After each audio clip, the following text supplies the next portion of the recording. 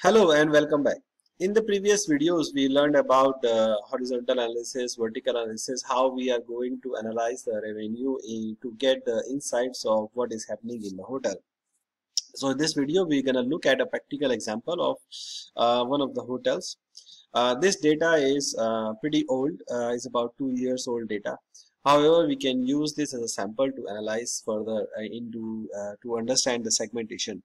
So as you can see, the report is this is a market segmentation report, it's a revenue report.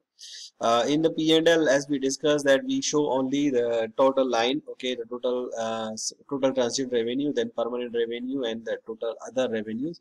But we add the details of by segment as prescribed by usually in another annexure, which is normally helpful to understand the revenue revenue performance in more details.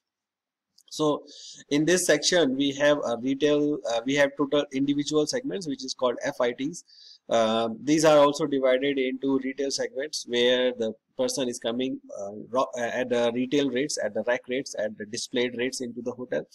Then there are discounted uh, segments where you are selling at packages you are selling at discounted rates you are selling advanced purchase rates you are selling discounts based on your uh, other promotions like local resident promotion or foreign promotion or certain other promotions.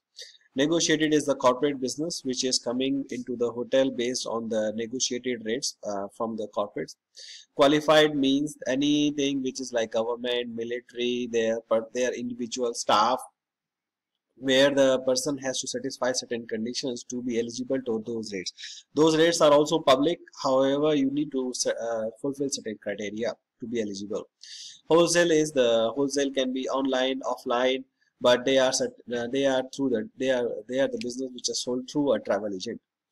Uh, long stay means the person who is staying here for more than certain uh, criteria room nights, let's say 10 room nights or 14 room nights, usually 14 room nights is considered as a long stay, but less than 30 because if less, if more than 30 by a contract, it comes as uh, permanent business. And then you have others, uh, other miscellaneous source of businesses uh, which is not covered in other uh, above segments.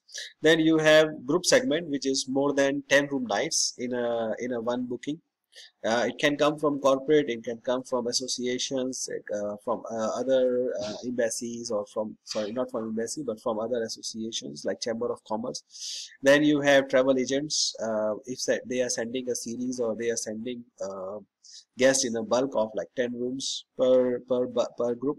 Then there are other social, military, educational, religion or fraternity groups. These we have discussed in the earlier videos as well, so you can refer there. Uh, now, the this segment, this report is divided into three segments here. This is this year revenue. Revenue, uh, room nights, RN means room nights, average rate, how much was, uh, was the rate achieved, and then the revenue in dollars. Then you have a budget uh, segment same room night adr and budget. And then you have last year revenue. Same room night adr and last year. Now the horizontal analysis as you know is compare one period with another period so first thing we have to do is uh, we have to analyze under we have to calculate the variance. So i have pre do it. Uh, you can do it in the uh, separately. I can uh, give you the raw file as a resources so you can uh, you can download it and then you can do it by yourself. So the the way to do revenue analysis is to calculate the absolute variance first. So the absolute variance versus room nights so example here we are uh, deducting room night uh, this year room nights from the room nights. So the way to calculate is this year minus budget this year minus last year.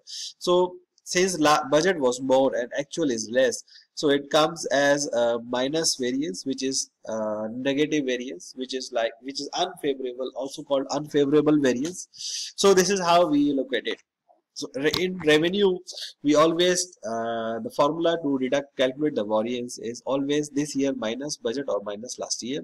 While for expenses we do the reverse. We deduct budget minus the actual or this year last year minus the actual. So that we know what is favorable variance and what is not favorable variance. So here in this case, you know, for each segment we have unfavorable variance because most of the business is down except a few segments. So the, the situation is quite bad. The total revenue which is down is 2.2 million dollars compared to the budget and 1.6 million dollar compared to the last year. Now we want to know the percentage, right? We want to know, so we calculate the percentage based on budget by dividing variance from the budget, total budget. So we got 26%. So on an average, in overall, we have 31%, 24% uh, compared to last year. Now what the, what these reports tell us? This this analysis tells us that uh, total uh, where if we are segmenting if we are losing 1.6 million so where is the business that we are losing from? So let's say we are losing in total groups we are losing around 653 thousand dollars. And in individual segments we are losing 956 thousand dollars. So the major loss is coming from both the segments but in terms of percentage the loss is 18% uh, in revenue segment in the individual segment here and in group is about 51% so 51% of the last year business has lost while groups individuals is lost about 18% in even though in terms of value it is quite high and this is lower. However in terms of relative business percentage relative segmentation the groups are hitting a lot maximum is hit by the groups. So here is something which tell us where to focus on. As we discussed earlier the this kind of analysis does not give us any solid results. It just gives us an indication of where to look at and how to look at it. Now the in the next video we will be looking at the vertical analysis. Stay tuned